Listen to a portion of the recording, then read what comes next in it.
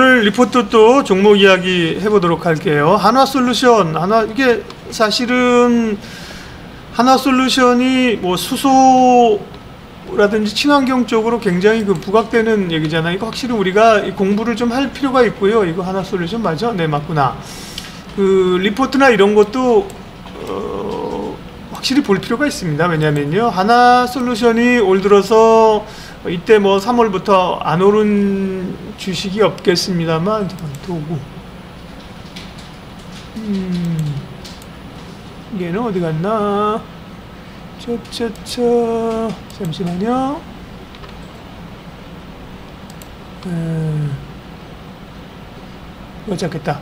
자 어, 하나솔루션이 그 태양광 뭐 풍력 이런 그 다음에 바이든 바이든 이런 기대감으로 사실은 6, 7월에 굉장히 많이 올랐잖아요. 여기서 어, 16,000원에서 5만 원 갔다 이때 주봉상 세 개가 엄청 풀어진 거 보이죠? 이거 이거 보이시죠? 5만 천 원 갔다가 3만 4천 원 간 적이 있거든요. 이때 왜냐면 이게 니콜라였어요, 니콜라. 니콜라가 어, 제2의 뭐 테슬라가 된다 그러면서 니콜라 얘기 가다가 니콜라가 보니까 어, 다 어, 말짱 사기더라 이런 얘기 그 미국에서 나왔잖아요. 그러면서 하나솔루션이 니콜라에 투자했잖아요. 그래서 출렁했는데 그때 이제 애널리스트 얘기들도 그러니까 니콜라에 투자한 금액이 그렇게 뭐 하나솔루션에 영향을 미칠 만큼 그렇게 많지는 않았다는 거고요. 기본적으로 이 하나, 이 하나솔루션의 성장성 어, 친환경에 대한 성장성 좋다는 얘기를 했었거든요. 그때 이제 용기를 가지고 사실은 어, 받은 분들은 이미 지금 또 수익을 내고 있는 거죠. 어쨌든 간에 에, 그런 가운데 최근에 이제 오늘 또 유상증자를 냈는데 1조 2천억 유상증자를 냈습니다.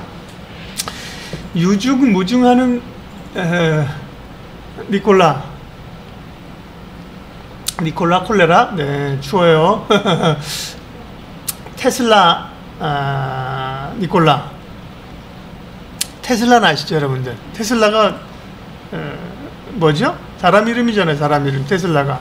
테슬라가 그 어, 원래 그 이 전기 이런 그 전기나 이런 과학자 설명 그걸 만들었던 테슬라가 사람 이름이에요. 테슬라가 사람 이름인데 그 일론 머스크가 사실은 테슬라 이름 지은 것도 아닙니다. 일론 머스크는 원래 다른 사업을 했어요. 다른 사업을 에, 벤처 하다가 그 테슬라라는 회사를 인수했죠 자동차. 그러면서 그 전에 테슬라를 만들었던 사람이 테슬라라는 과학자의 이름을 따서 테슬라 이름을 만들었던 거고요. 니콜라 누구냐? 테슬라의 테슬라라는 그 유명한 과학자의 이름이 니콜라 테슬라예요. 같은 사람이 같은 사람. 웃기죠? 예. 니콜라 테슬라가 같은 사람이라니까요.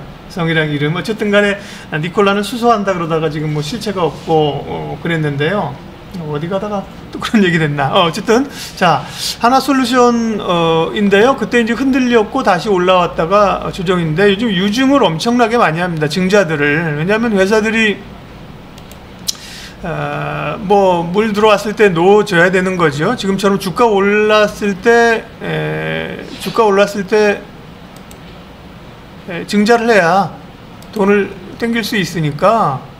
에. 자. 오늘 그래서 이제 어, 제 대규모의 그 유증 얘기가 있었고요. 어, 유증 얘기가 있었고 잠깐만요. 네.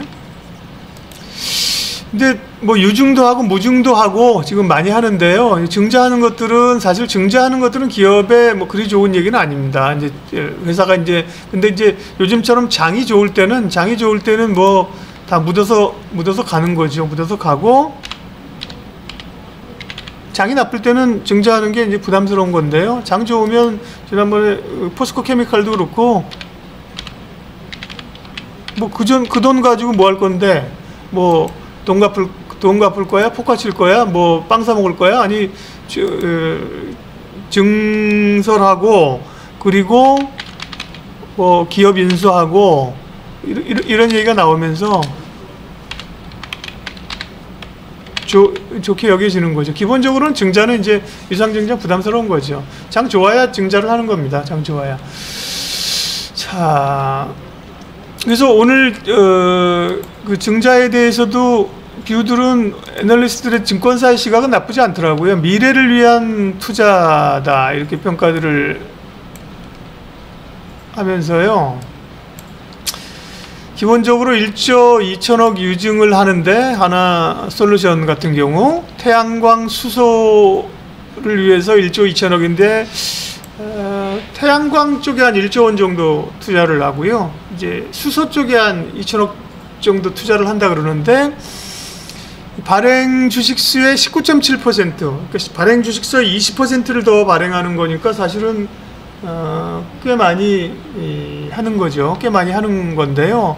태양광 산업이 이제 늘어나는 거고 여기 보면 또 중요한 게 있습니다. 태양광 어, 태양광에 대한 기대감이 높아지고 있고 새로운 태양광의 기술 이런 데 투자하면서 아, 페브로스카이트 지난번에 그 유니테스트 얘기하면서 아, 페로브스카이트 얘기하면 들으신 적 있죠? 페로브스카이트라는 새로운 태양광 폴리실리콘의 새로운 기술인데요. 뭐 그런 쪽에 투자한다고 하면서 선제적인 투자에 대한 기대감 예, 그러면서 목표가는 6만 아, 4천 원을 그대로 유지했고 어, 조정 시의 비중 확대 전략을 어, 예, 꼽았습니다.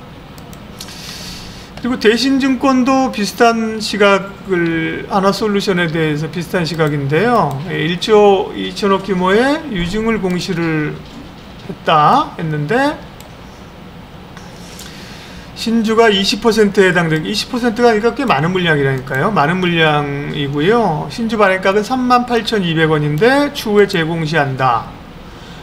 어, 그래서 어, 시설 자금 뭐 6천억, 운영 자금 3천억, 타법인 취득 3천억 쓴다는 거고 태양광 중심의 미래 성장성 확보 좋게 다, 다, 자 좋게 했습니다. 그리고 태양광의 대장주로 valuation 어, 확장에 여력이 있다. 그러면서 좋게 평가를 했고요. 삼성에서는 조금 negative하게 봤습니다. 아침에 이 한화 솔루션 삼성에서는 아, 예상 못했던 증자 아, 그리고 예상 가능했던 자금 사용 목적. 이제 어디 쓸지가 빤한데 예상 못했던 증자를 했다는 거에 대해 조금 어, 부담스럽다고 얘기를 하면서요. 삼성에서는 음, 목표가를 좀 낮췄습니다. 삼성에서는 음, 목표가를 얼마로 낮췄냐면요. 삼성에서는 6만원에서 5만 5천원으로 8%가량 하향 조정하면서 어, 조금 의문을 제기를 했습니다. 하나, 아, 하나 솔루션에 대해서, 어, 하나, 하나 솔루션, 솔루션. 주가를 좀 보면요. 어쨌든 간에 유증은, 어, 이렇게 또 20%나 되는 증자를 하는 거는 기본적으로 좋은 건 아니다. 좋은 건 아니고요. 아니, 돈 많으면 회사가 벌어들이던, 벌어들인 돈 갖고 투자를 하고 새로 빌딩 사고 장비 사는 게 좋잖아요. 주주한테 결국은 더 손, 어, 벌리는 거거든요. 이제 사업할 때니까 아, 이제 그 사업할 때니까 부모님한테 가서 돈 좀 더 내내라 내놓으라는 게 이제 유증이잖아요. 그 유증은 별로 좋은 건 아닌데요. 근데 오늘 사실은 좀 그런 유증 얘기로 어, 제법 빠질 뻔도 했, 는데 증권사 리포트들이 뭐 미래를 위해서 어, 성장성 높게 본다 그러니까 어, 양봉을 만들었습니다. 1% 내리면서 양봉을 만들었는데요.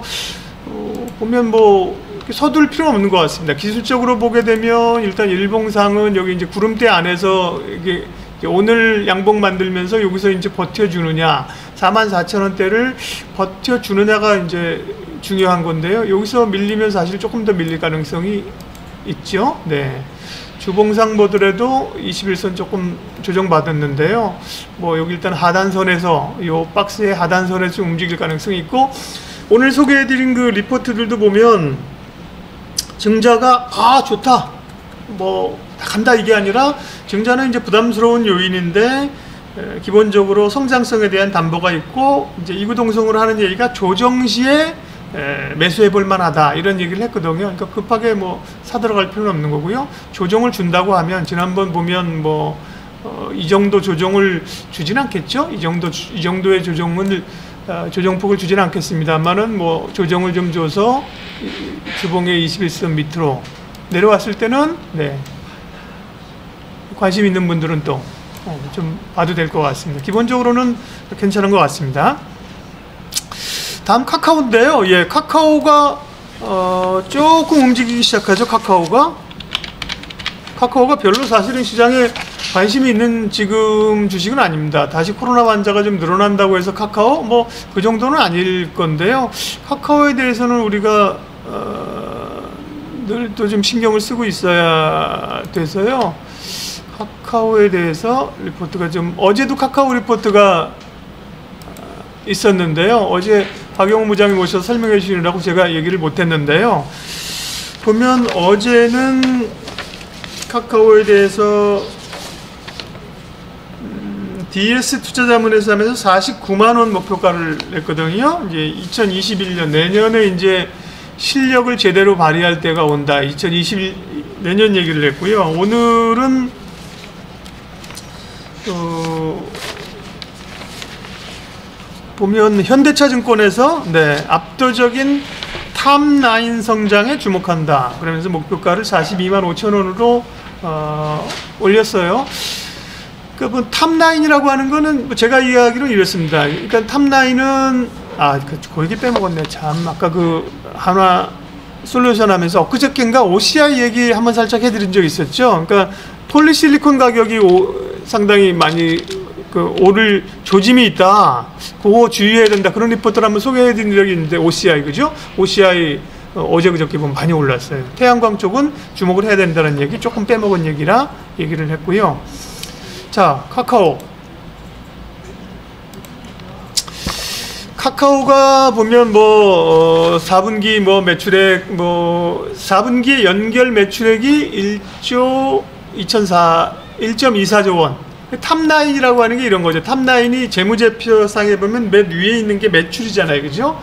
매, 매출이 있고 그 다음에 매출에서 어, 비용 쓰고 그다음에 영업이익 있고 영업이익에서 세금 내고 그다음에 나는 남은 게 이제 당기 순이익이잖아요. 그러니까 어떻게 보면 재무제표상에 매출이 가, 장 위에 있는 거거든요. 그러니까 이익은 순이익은 top line이 아니라 아랫 라인에 bottom line이라고 하나요? 그 라인에 있는 거기 때문에 여기서 top line의 성장이 압도적이라는 것은 매출이 쭉쭉 잘 일어나고 있다. 저는 이제 그런 어, 의미로 이해를 하고 있는데요.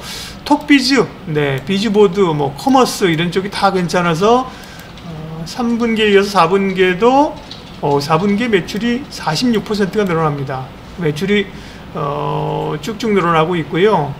피코마, 피코마는 보니까 어, 피코마는 일본에서 그 카, 저, 카카오가 그 웹툰, 웹툰 사업하는 에, 거더라고요. 그 이제 피코마, 그 다음에 모빌리티 중심으로 마케팅 이렇게 하면서 매출이 쭉쭉쭉쭉 예, 늘어 어, 난다. 그러면서 뭐 모빌리티, 구독 경제, 모바일 플랫폼 이렇게 예상하면서요. 카카오에 관한 얘기들을 어, 쭉 하고 있고 카카오가 보니 근데 아, 대단하긴 정말 대단합니다. 카카오의 실적을 보면요. 어, 매출이 에, 보면 작, 작년에 3조, 올해 4조 1천억, 내년에 5조 3천억, 이익을 보더라도 영업이익이 작년에 2천, 2천억, 근데 올해 4,500억, 두 배 넘죠? 내년에 7,600억, 거의 뭐 더블링으로, 더블링으로 쭉쭉 늘어나고 있는 회사가 카카오입니다. 그래서 카카오에 대해서는 지난번 네이버도 그렇고요.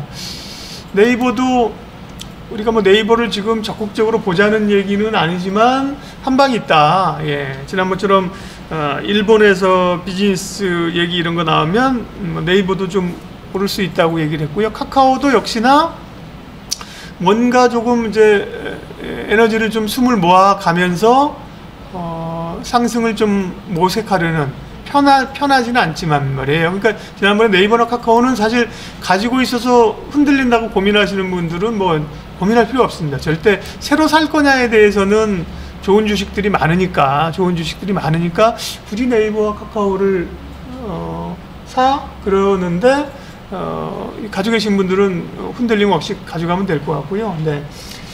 두산 피얼셀 지금 증자 가지고 얘기를 계속 어, 하시는 거 같습니다. 네. 두산 피얼셀 한번 찾아볼게요. 네. 차트에서 파란 구름하고 이 핑크 구름은 이게 일목균형표인데요. 일목균형표상 사실은 요 앞에 구름대가 먼저 가거든요. 아, 이렇게. 그래서 요 구름대가 보면 이 앞에 먼저 가거든요. 이 앞에 지금 빨간 빨간 구름이 돼 있잖아요. 이제 음, 이게 양운이라고도 양, 양 플러스의 구름인데요. 양운으로 바뀌었다는 거는 시세가 단기 장기 추세보다 단기 추세가 좋게 돌아섰다는 거거든요. 좋은 흐름이죠. 이제 음운으로 돌아섰다는 건 사실 떨어질 때 보면 앞에 큰 구름들이 좀 이렇게 막히게 되는데요. 뭐 이럴 때 에, 어디로 봐야 되나? 이렇게 떨어질 때 이럴 때 이제 이렇게 음운이 생기는 것들은 음운 구름이 있으면 사실 좀 하락 추세라고 볼 수 있는데 음운과 양운을 사실은 그 양운이 좀 추세적으로 좋게 만들어 가는 거죠. 음운 음운보다는 파란색 부분. 근데 지난번에 그 아, 우리가 이제 일목균형표나 기술적 분석 그 하실 땐 보면 뭐 그 색깔은 별로 신경 어, 쓰지 않아도 된다고 이제 예, 말 김중근 대표님도 보면 색깔은 별로 신경 쓰지 말라 그러네요. 구름대 위에 있느냐 아래에 있느냐 이거를 이제 중심에서 김중근 대표님은 그 얘기를 하셨고요. 굳이 구름의 색깔까지 신경 쓸, 쓸 필요 없다.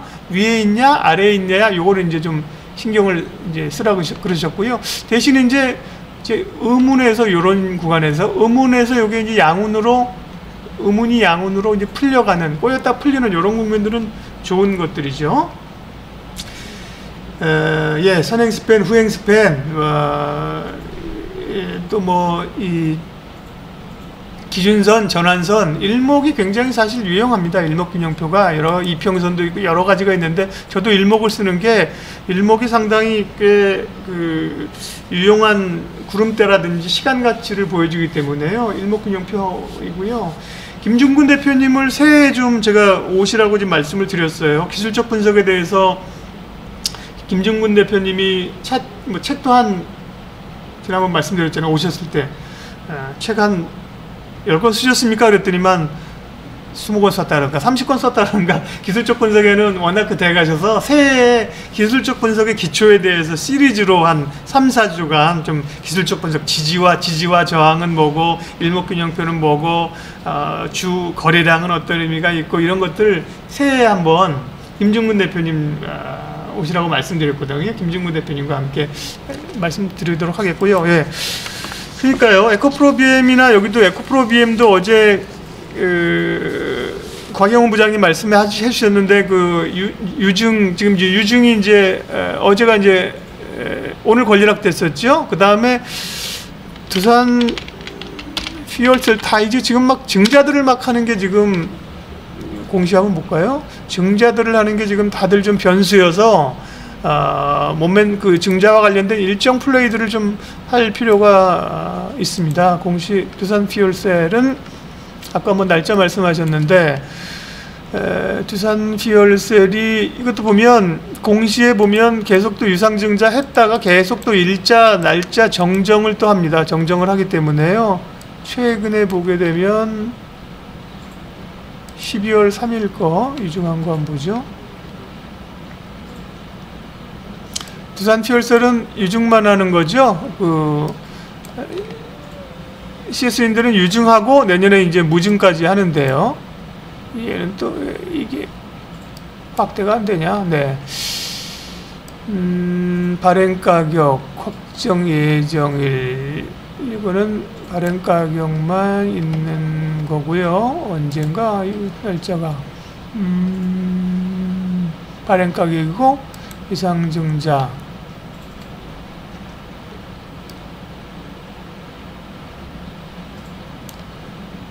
그러니까 관심 이제 주식 가지고 계신 분들은 어쨌든 간에 다 이런 거를 체크를 해야 되니까요. 언제 발행이 되고 얘는 보면 어, 이상증자 결정이 돼 있고요. 기준이 신 발행 신 발행가 신주 배정 기준일은 10월 28일이었는데 10월 28일 여러분들 아까 어디 갔어?